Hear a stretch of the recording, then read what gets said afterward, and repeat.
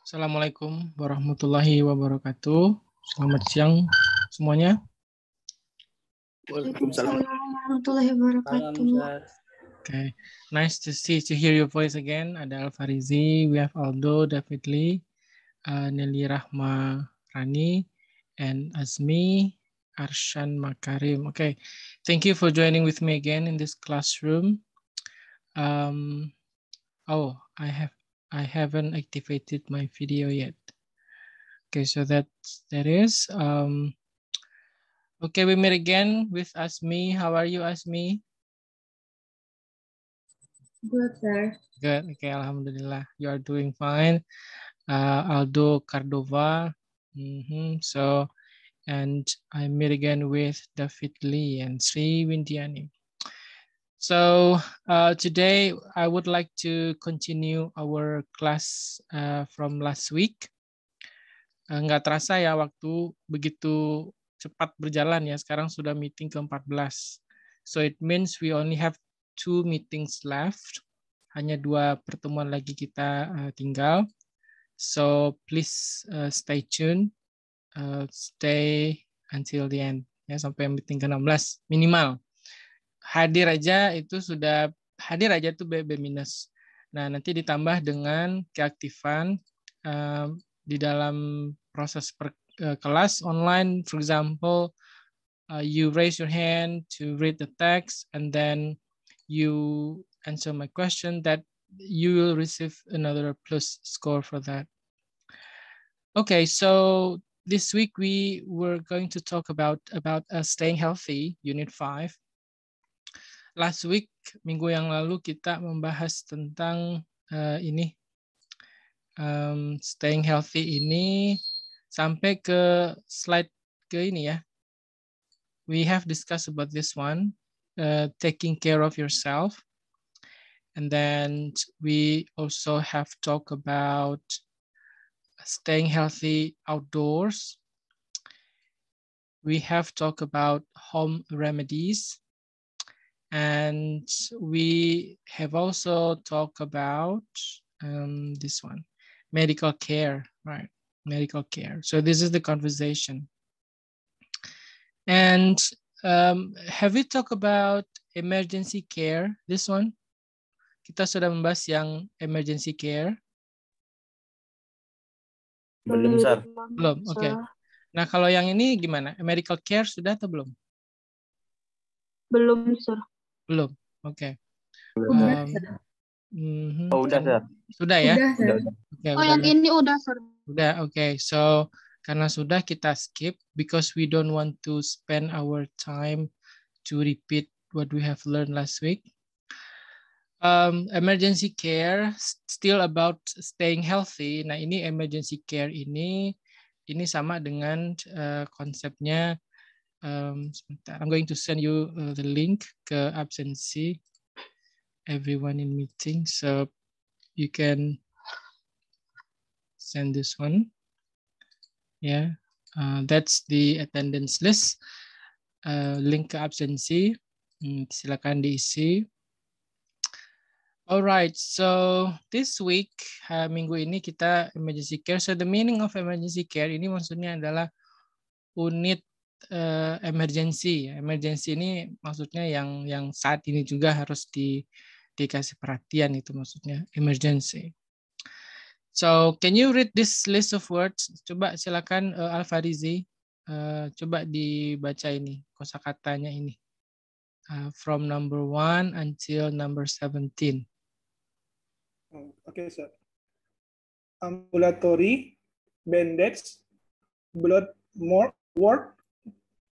ward, pumpers, co-payment, cover, coverage, critical condition, dressing, injury, inpatient, F, threatening, paramedic, sling, swell, swo- swollen, treat, treatment, fracture, uh, gurney, care provider, health in insurance card, health insurance plan, hospital hospitalis, identification bracelet, injure.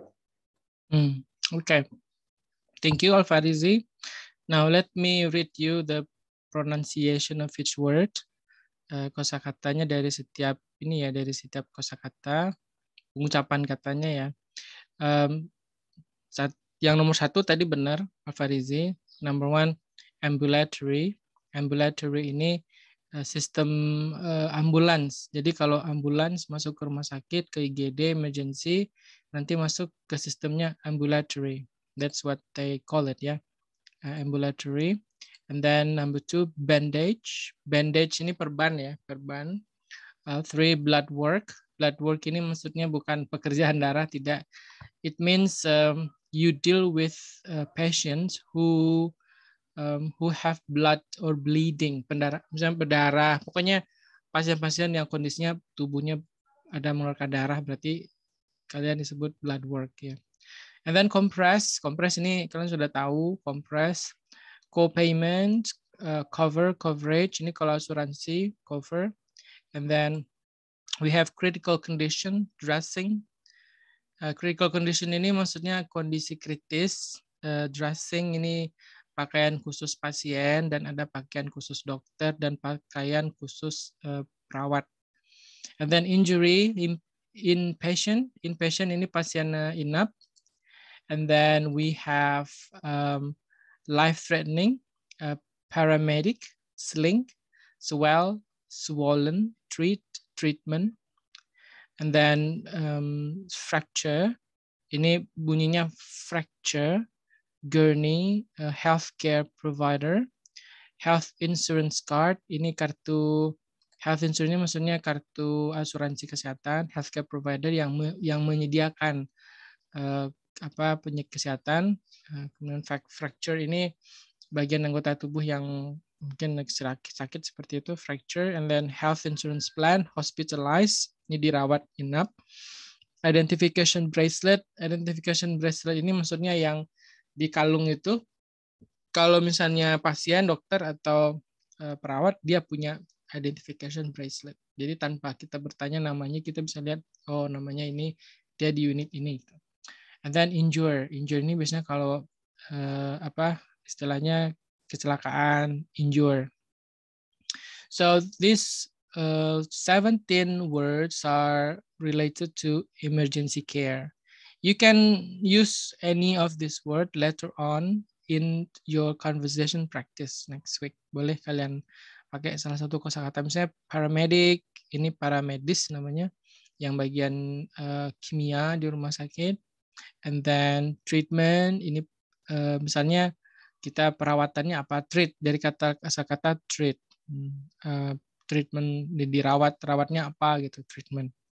Medical treatment or um, kalau yang sakitnya tubuh itu disebut medical treatment dikasih obat-obatan. Tapi kalau misalnya uh, ini konteks sakitnya uh, physical ya bondage physical. Alright nah sekarang kita lihat salah satu contoh percakapannya. As you can see, conversation springboard, what's happening. Ini di bukunya halaman 96 sampai 97. Um, M1, M1, M2, M2. Oke, okay. so I would like to invite uh, two male students, um, dua mahasiswa dan satu perempuan. Oh, Jeffrey sudah angkat tangan. Jeffrey, yang kedua siapa nih? David Lee, ketiga Dinda. Oh, duluan mereka. Baik. Karena kita dua mahasiswa, satu female, jadi uh, sudah klop ini Jeffrey, David Lee, dan Dinda. Oke. Okay. Um, David Lee M1, Jeffrey M2, Dinda F1. Oke, okay, please go ahead, silakan.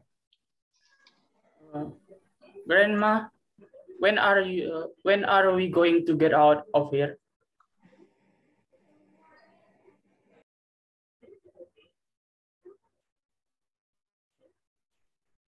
Linda, are you there?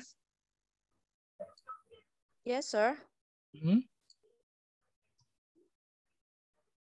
Dan, just be patient. There are so many people sick people here. Uh, but grandma, I want to go home.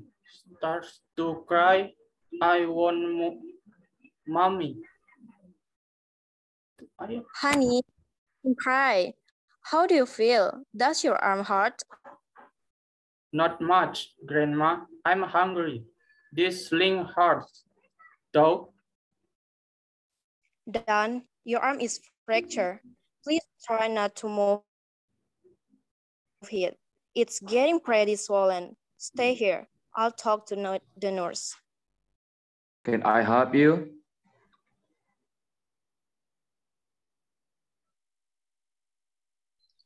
Can I help you? Yes, I've been here. He's just a little boy and he's be back with his x-rays. I don't really know, ma'am. We've got people with life training illness coming. I understand it, but but I've got a frightened little boy. I'll see what I can do. Thanks, I appreciate it. Hmm. All right, thank you, Jeffrey, uh, David Lee, and Dinda. So you see in here, uh, there are certain expression that you can learn. Ini uh, informal ya, ini tidak tidak formal konteksnya. Uh, grandma, uh, when are when are we going to get out of here? Get out of here ini keluar dari sini. Berarti konteksnya di ruangan ini ya, di uh, rumah sakit. Then just be patient. There are so many sick people here. But grandma, I want to go home. Nah, start to cry ini maksudnya kalau dalam percakapan dia sudah mulai mau menangis nih. Nih konteksnya anak kecil berarti ini ya. But grandma, I want to go home. I want mommy. Honey, don't cry. How do you feel? Does your arm hurt? Apakah tanganmu sakit? Not much, grandma. I'm hungry. This sling hurts though. Sling ini maksudnya bagian dari perawatan yang dikasih rumah sakit itu sling. And then I'm hungry dia uh, you know it's it's uh, lapar. Then your arm is fractured. Arm berarti tangannya ini ya fractured mungkin uh, injury jatuh atau gimana. Uh, please try not to move it. It's getting pretty swollen. Stay here. I'll talk to the nurse. Datang nurse. Can I help you? Ini formal ini. Can I help you? Or what can I help you? Oh yes, I've been here with my grandson for uh, four hours. For four hours. Berarti mereka di ruang tunggu ini. He's just a little boy and he's scared. When will the doctor be back with his x-rays? You know x-rays? Apa itu? X-rays? Siapa yang tahu apa itu x-rays? Ronsen. Ronsen ya, x-rays. Hmm. Uh, I don't really know, ma'am. Ma'am ini berarti uh, pakai ma'am ini panggilan sopan untuk perawat yang perempuan. I don't really know, ma'am. We've got people with life-threatening illness coming in. Ini maksudnya life-threatening illness ini penyakit yang mengancam uh, nyawa ya, life-threatening hidup. Kalau nggak langsung diatasi bisa goodbye deh. I understand that, but I've got a frightened little boy who is also in pain. Frightened, frightened ini dia uh, panik, cemas, takut ya, little boy. I'll see what I can do. Thanks, I appreciate it now. So you can you can imitate expressions like this. Um, I want mommy, ma'am, how do you feel? Um, ini uh, spoken English ya. Jadi spoken English dengan written English uh, berbeda. Okay, so you see this list of vocabularies. Now, from the emergency care unit, we would like to come to the next one. It's about pharmacy. Pharmacy. Okay, so um, three participants raise hands. All right, now um, you see this picture, ada gambar, this is pharmacy. So pharmacy related to chemist, kimia. Jadi yang waktu kalian belajar kimia SMA, ini berkaitan dengan uh, farmasi. Dia sinkron dengan ilmu kedokteran. Makanya disebut dengan medical faculty of medicine and faculty of health and sciences. Itu fakultas kesehatan dan uh, apa kedokteran. So we have here 30 list of words, 30 kosakata. Um, who would like to read this for us? Siapa yang mau baca 30 kosakata ini untuk kita semua? Silakan. Oke. Oh, Dian Hadini yang katakan Dian. Jeffrey tadi sudah gantian yang lain. Oke. Oh, Zaki. Tadi Zaki yang tangan. Oke, we we split into 1 until 15 try Dian Hardini and 16 sampai 30 Muhammad Zaki. Oke, silakan. Oke, okay, sir. Number one is addictive. Number two is antibiotic. Number three is anti-inflammatory. Number four is dosage. Number five is dose. Number six is drug. Number seven is druggist. Number eight, drugstore. Number nine, empty stomach. Number 10, expiration date. Number 11, expire. Number 12, fill. Number 13, food supplement. Number 14, full stomach. Number 15, generic. Okay, good. Thank you, Dian Hadini. Uh, please continue, Muhammad Zaki. Okay, sir. Uh, 16, hair medicine. Uh, 17, multi, multiple vitamin. 18 muscular relaxant, uh, narcotic, uh, non-narcotic, non-prescription drug, non-refillable, no refills, painkiller, pickup, prescription drug, refill, relief, relief, prescription. Mm, okay, thank you, Muhammad Zaki. Now let's see each word. The first one is addictive. Addictive means uh, ini sudah kecanduan ya. Addictive sama dengan narkotik itu. And then antibiotic. Ini sudah diserap ke dalam bahasa Indonesia. Kalau kalian belanja di optik, biasanya dikasih obat antibiotik. Nah, sebenarnya dari ini dia dari bahasa Inggris antibiotic, anti-inflammatory, inflammatory ini kalau merasa badan panas, dosage, uh, dose, ini dosis, drug obat drugist ini drugstore um, ini kan kita menyebutnya apotik dan apoteker.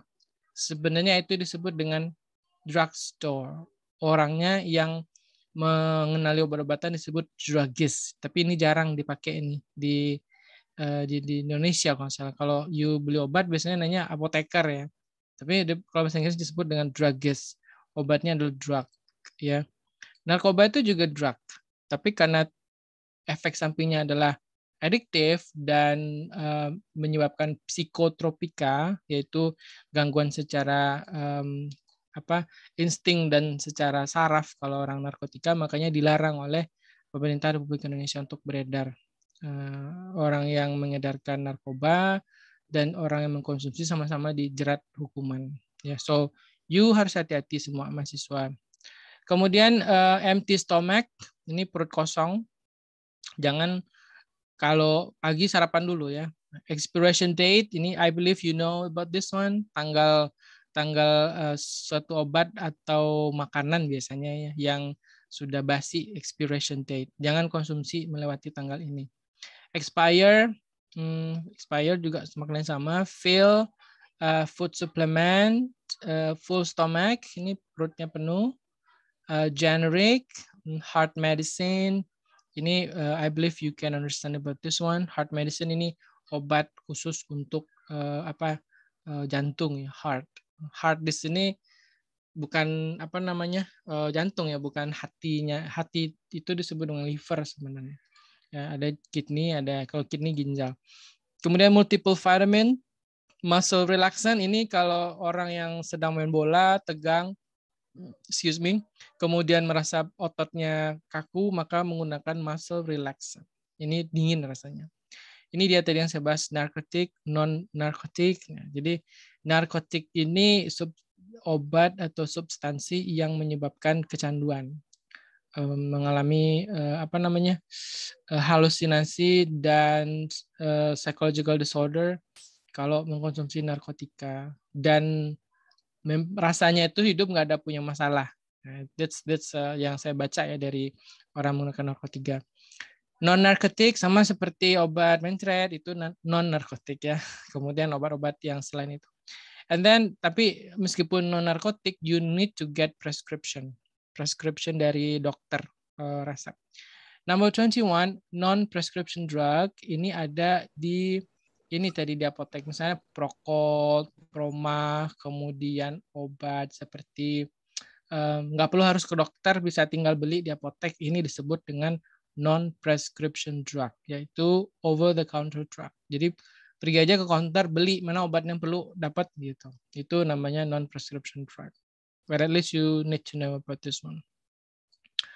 And non-refillable, ini nggak bisa diisi ulang. Uh, non-refillable, obat-obat yang bisa diisi ulang.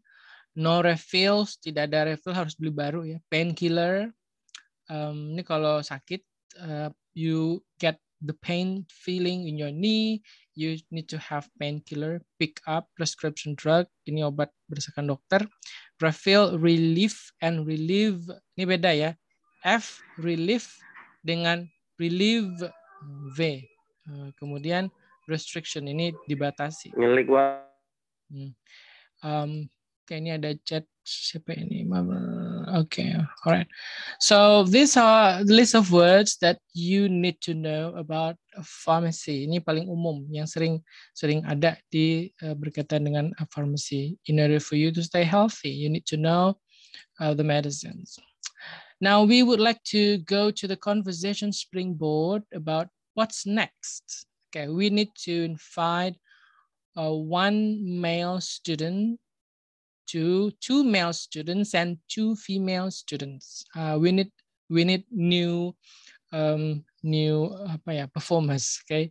Dan hari ini tadi sudah, so we would like to, okay, Aldo Cardova, that's number one. Aldo, who else? Kedua, mm -hmm. siapa lagi yang kedua?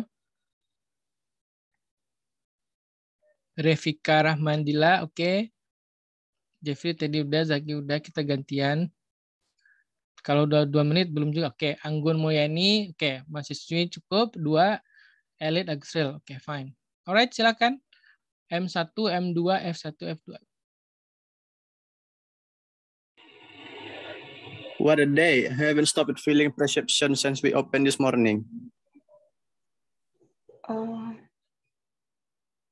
winter here, last uh, of illnesses, boy being uh, pragmatist in flu season is a picnic, is on picnic. Excuse me, where can I find an over-the-counter anti-inflammatory drug? Over on the shelf to the right. This one used to be a pressure drug, but you can also get a low dose over-the-counter generic for half the cost of the prescription. Where did you say? Right there, next to the painkillers. Be sure to take it on, on a full stomach. Oh, here it is. Thanks. I'm here to pick up my prescriptions. The doctor called in it about an, an hour ago. What's your name? Hmm. Okay, good. Thank you, everyone. Revika, Anggun, um, and then Aldo, uh, uh, Elit. Yeah, thank you. Now, I'd like to, to explain to you the expression, expression when you speak in English, uh, communicate. Ini what a day, ini maksudnya idiom, idiomatic ya. Idiomatic ini mm, sama dengan uh, kalimat atau kosakata yang maknanya di luar dari yang tertulis. What a day. I haven't stopped filling prescription since we opened this morning. Berarti mereka ini kerja di di apotek ini. What a day. What a day ini kalau di bahasa Indonesia sama-sama seperti maknanya uh, kalau bahasa Minangnya gini.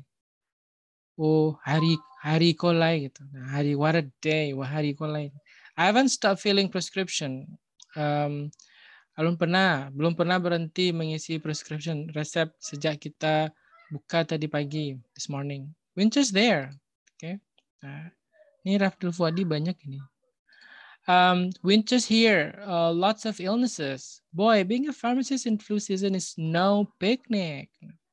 Winter's here ini maksudnya musim salju ya. Kalau oh, winter ini it's uh, covered with snow everywhere you go. Dan minus minus 10 sampai minus 15 derajat Celcius kalau musim salju. Seperti kita berdiri depan pintu kulkas, terus yang bagian frozennya tuh kebuka. Tempelkan pipinya dekat sana. Selama 5-10 menit. Nah itu rasanya minus 10, minus 15. So it's very cold. Um, boy, being a pharmacist in flu season. Nah, jadi flu season ini winter ini identik dengan flu season. It's no panic, picnic. Uh, excuse me, uh, ada orang masuk ya. Excuse me, where can I find an over-the-counter anti-inflammatory drug? Berarti ini maksudnya over-the-counter, berarti obat yang bukan uh, resep, tapi untuk anti-inflammatory. Um, terus jawab over the shelf to the right, over over over on the shelf di sana sebelah kanan gitu. That one used to be prescription prescription drug. Itu biasanya untuk obat resep, but, tapi kamu bisa dapatkan dosis yang lebih rendah di over the counter generic for half the cost of the prescription. Nah, jadi ini maksudnya di dekat uh, sana bisa dapat obat generik yang over the counter dekat uh, dekat uh, counter itu dengan harga setengah harga dibandingkan obat yang resep maksudnya. Where did you say? Nah, di, apa tadi kamu bilang? Nah, berarti dia pengolahan informasi. Boleh kalau misalnya when you have conversation with English speakers and you are not sure what you want to understand, you can say, uh, where did where did you say or what did you say just now? I didn't get it. Atau bisa juga bilang, would you mind repeating that please? I, I don't get what you said. Gak apa-apa.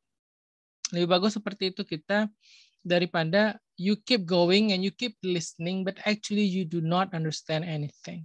Okay, so that's this is the best way for you to do it. Uh, be sure to take it on a full stomach. Sorry, uh, right there next to the painkillers. Okay, sebelah sana dekat dari obat painkillers. Nah, rasa sakit. Uh, be sure to take it on a full stomach. Nah, ini maksudnya uh, ekspresinya pastikan kamu memakannya. Take it ini bukan ngambil dari rak ya, mengambil memakannya on a full stomach setelah perut uh, penuh maksudnya setelah makan. Nah, kalau literalnya bisa bilang bilang gini, you need to eat the medicine after you have your food. Nah, nggak ngerti uh, native itu. You can say, be sure to take it in a full stomach. Oh, here it is. Thanks. Hmm, ketemu obatnya kan. Thanks. I'm here to pick up my prescription. The doctor called it about an hour ago. Nah, ini ada pasien baru, F2 tadi ya. Dia ngambil resep. Eh, dokter katanya harus uh, memberinya sejam yang lalu. What's your name now? Okay. So this is the context where it happened in the drugstore, ya toko obat, or in the pharmacy corner of the hospital. Yeah, you need to know. Mana tahu nanti kalau kalian kapan-kapan misalnya traveling keluar Indonesia, you need to know at least this this list of vocabularies. Ya, prescription drug, uh, ada medicine, ada drug. Uh, ini ada coret-coretan apa ini? Um, siapa itu? Muhammad sebentar. Di layar saya ada coret-coretan ini. Dari, oh, oke. Okay. Alright. Mm -hmm. Bisa ya di hmm. ada coret-coret. Sorry, kepencet, sir. Sorry, kepencet. sorry. Oh, oke. Okay. Alright, ada ada scratch begini. Kok bisa ya? Oh. Nggak tahu sih. Nggak tahu ya. Oke. Okay. So it's a very interesting, but that's fine. Nah, jadi at least you know this list of words. Jadi ada kita tahu yang uh, dosage dengan dose, dose ini dosis, dosage ini takaran obat. Kalau melebihi makanya benar lagi tuh yang bilang oleh uh, apa ya hadis atau apa katanya kalau mengkonsumsi sesuatu itu secara berlebihan itu nggak baik. Makanya ini ada overdosage. Makan minum air putih aja berlebihan juga bisa mabok kan ya itu jadi eh, don't don't be too much. Everything too much is not good. Okay. So we will continue about poisons. Poison, this is uh, racun, ya yeah, racun. Apa beda poison dengan toxic? Siapa yang tahu? Poison with toxic. Anybody knows? It's a poisonous uh, um, karena nggak tahu ya jadi so I'd like to explain to you about that one. It's actually um, poison is uh, contained in the food. Sementara toxic racun itu sendiri toxic. Kalau poison berada di dalam sesuatu itu poison. Makanya you need to uh, differentiate that Um, I'd like to Kayak cyanida tuh masuk poison tuh. Kalau yang cyanidanya itu sendiri itu toxic. Yang cyanida itu yang substansinya itu toxic. Tapi kalau cyanida yang berada di dalam kopi itu menjadi kopinya poisonous. Poisonous itu beracun. Kayak enak di sini loh, banyak angin. Apa Ayo itu? nyender ke Mbak. Eh, Mbak Em. Saya mute ya Eka, Tiara Mustika. Oke, I don't know to whom you are talking. Um, jadi poison poison itu ada ada beberapa tipe poison dengan toxic. Uh, tapi kalau sekarang makna makna toxic itu lebih melebar. Ternyata tidak hanya uh, kepada racun makanan, tapi juga di dalam hal hubungan sosial juga disebut dengan toxic. It's very interesting if you would, would like to discuss about that one. Yeah. Um, we will continue talking about this in our second session. Sesi kedua ini uh, Zoom ngasih limitation waktunya. Hmm, I'd like to continue in our classroom session to right after this one. So I stop share. I'll see you in the session two. Assalamualaikum warahmatullahi wabarakatuh. Waalaikumsalam warahmatullahi wabarakatuh. Waalaikumsalam warahmatullahi wabarakatuh.